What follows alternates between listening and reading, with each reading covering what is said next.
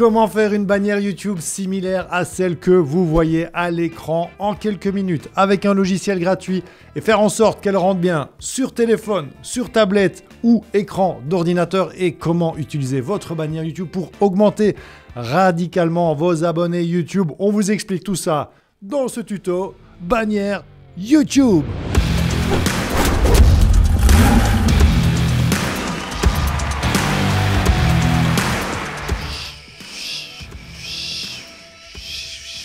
Salut, c'est Olivier Juprel, bienvenue dans un nouvel épisode de Stratégie Vidéo, le meilleur endroit pour apprendre à faire de belles vidéos, pas chères et qui rapportent gros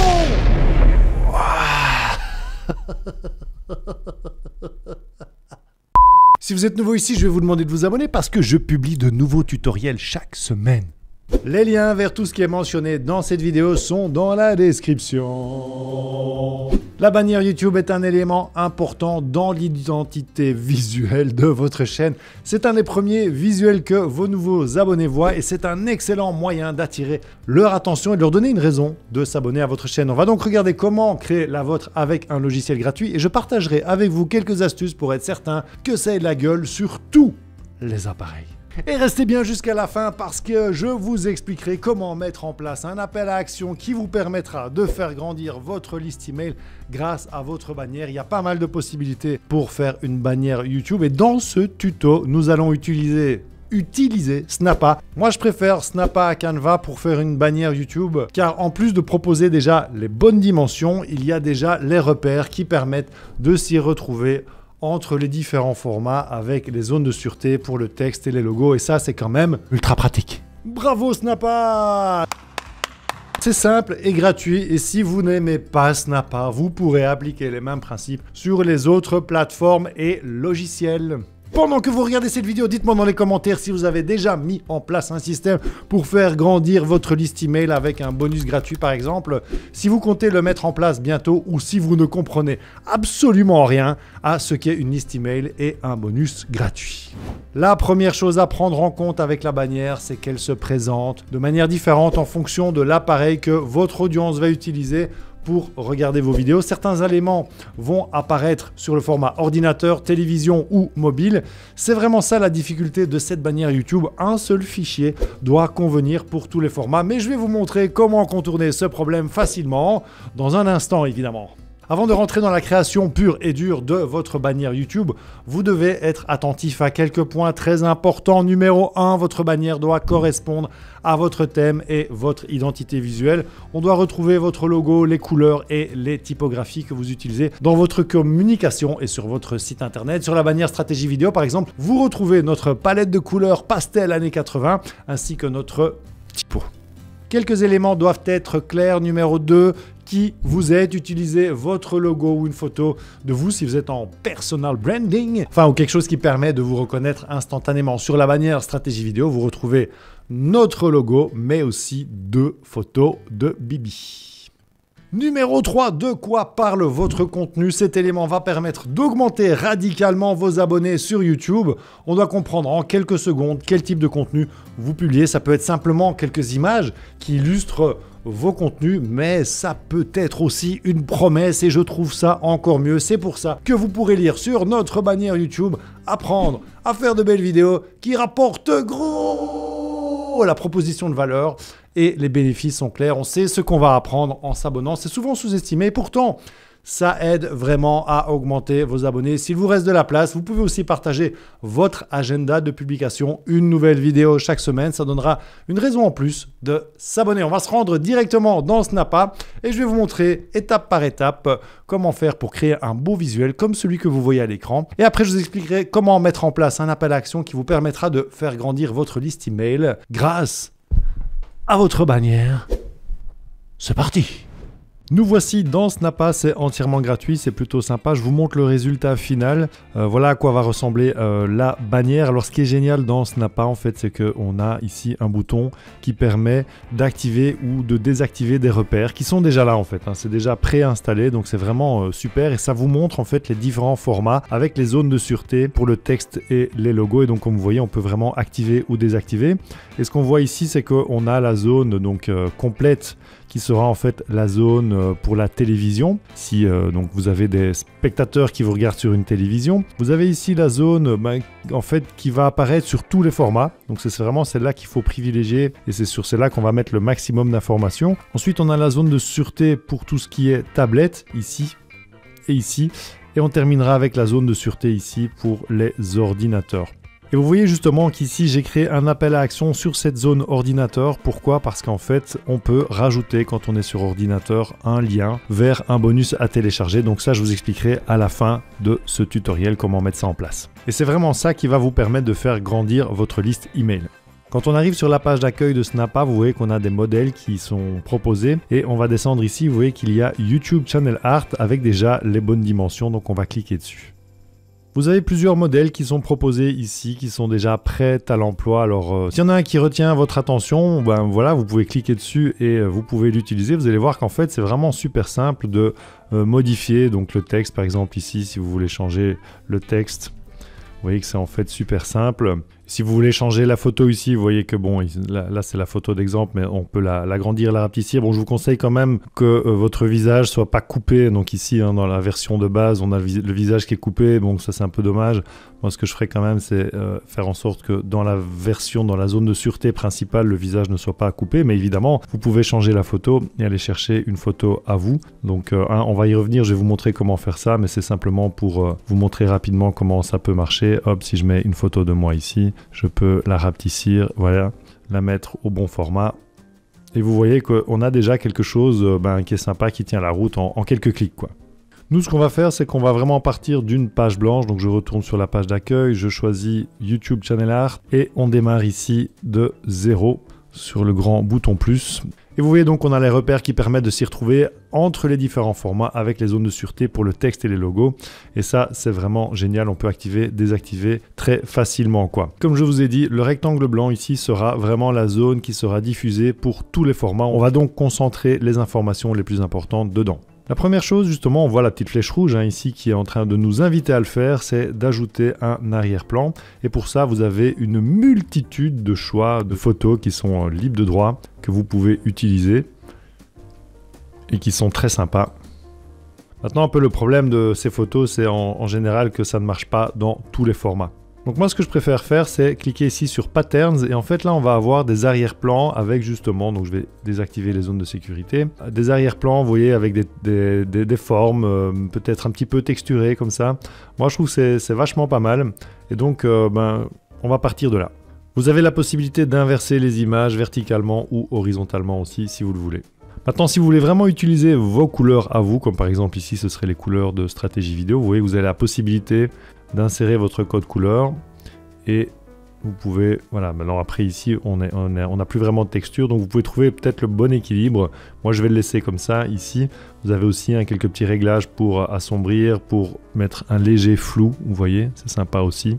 Euh, voilà, choisir un petit peu la saturation de l'image et d'autres réglages comme ça. En ce qui nous concerne ici, on va rester comme ça. La prochaine étape va être simplement d'ajouter du texte ici. On clique sur le bouton et on voit que ça se fait automatiquement. Alors ici pour le, titre, je vais essayer de choisir une typographie qui est justement assez allongée, donc comme euh, celle-ci par exemple Anton, et je vais mettre en majuscule à prendre d'un côté et on va recommencer pour la suite la guitare.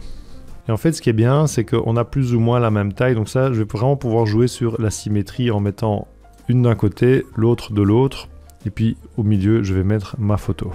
Je vais un peu agrandir ici, donc je peux choisir en cliquant dessus la taille de la police. On va aller jusqu'à 94, voilà.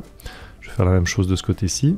Vous avez quelques petits réglages qui sont sympas, donc déjà on peut choisir la couleur. Donc moi je connais le code couleur du texte, je vais utiliser celui-là pour le premier mot et une autre couleur pour le deuxième mot. Voilà.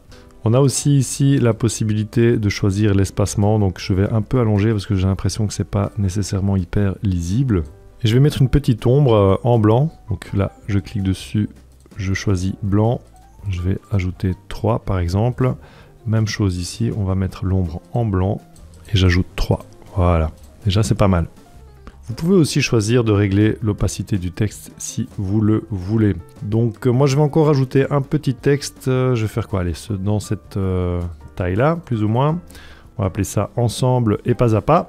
cette fois-ci, il ne sera pas en majuscule. Je vais aller le mettre ici en dessous. Je vais choisir la taille pour que justement ce soit bon. Je vais choisir une typographie que j'aime bien, en Roboto Black, bien la centrer. Et pour la couleur, je vais reprendre la même couleur que celle-ci créer un léger contraste. Voilà, très sympa. Allez, peut-être un peu plus grand. Voilà, là ça me semble bien.